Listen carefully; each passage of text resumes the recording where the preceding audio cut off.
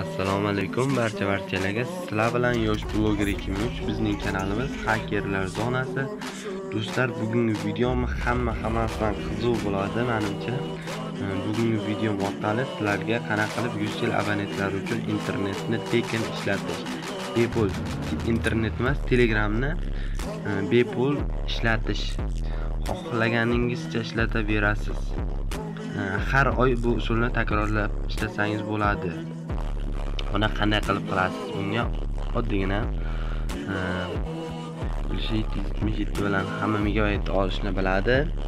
E, uch ming so'm evaziga bir gigabayt olasiz mana faollashtirish.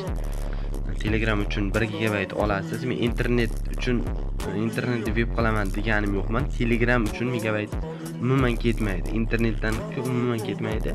Internetni yoqib turib telegram kirsangiz megabaytingiz ketmaydi. Bunga shaxsan o'zim garantiya beraman.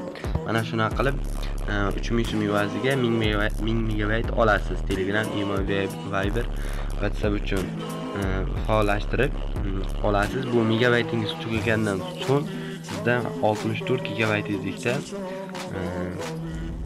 nima yoqiladi internet nima yoqiladi limit belgilanadi 64 mana messenjer opsiyasi trafik tugadi tezlik 64 gigabaytgacha belgilanadi. Limitni yangilash uchun to'plamni qayta faollashtiring deyapti mana. Bu 64 gigabayt 64 megabayt tezlikda cheksiz ishlaydi. Xohlaganingizcha ishlatsangiz bo'ladi. 64 megabayt tezlikda e, qanday ishlashini video qilib ko'rsatganman. Shunaqa qilib telegramni cheksiz ishlatsangiz bo'ladi. Buni sizlar sizlar uchun yosh bloger 2003 e, ko'rsatib o'tdi bizning kanalimiz. Hakerlar zonasi.